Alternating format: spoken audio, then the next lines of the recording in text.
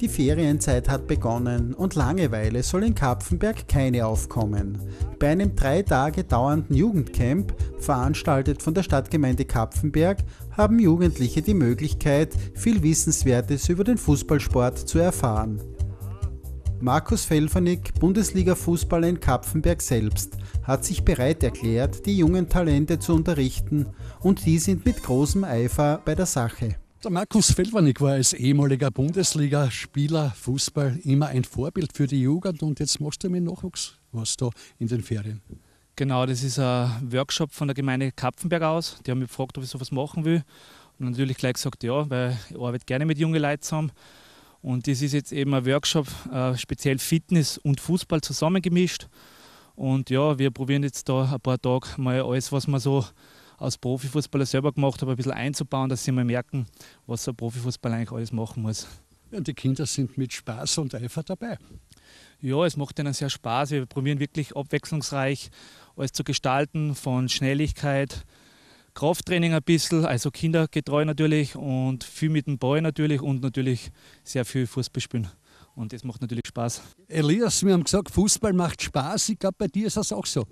Ja, Was ist denn das Schöne am Fußball? die Freude. Ja, und natürlich schön ist immer, wenn man Tore schießt und wenn man mit Mitspielern arbeitet, oder? Ja. Marco, wie gefällt es dir da? Sehr gut. Macht Spaß. Jetzt habe ich den Krieger kaum gesehen bei dem Raffelcamp und heute bist du schon wieder. Ich glaube, bei dir geht es ohne Fußball scheinbar überhaupt nicht. Ja, Fußball macht mir sehr viel Spaß. Willst du mal Profi werden? Werden wir schauen, ob es ausgeht. Was sind deine Ziele überhaupt? Mm, Ich habe eigentlich bei Fußball gar keine Ziele. Gar keine. Bei dir geht die Schule vor. Ja. Vor allem Spaß, Spielintelligenz sowie die motorischen Fähigkeiten erkennen und weiterentwickeln wurden bei diesem Camp vom Profi erklärt.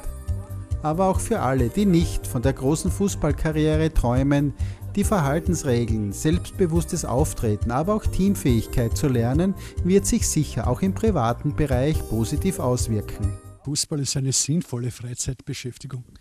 Ja, natürlich, jetzt sind die Ferien und äh, man muss die Kinder beschäftigen und das natürlich liegt auf der Hand, dass man dann sowas macht und man sieht, dass viele Kinder da sind und es lohnt sich, glaube ich. Konzentration, Kampfgeist, aber vor allem Spaß am Spiel ist an diesem Tag die Devise, denn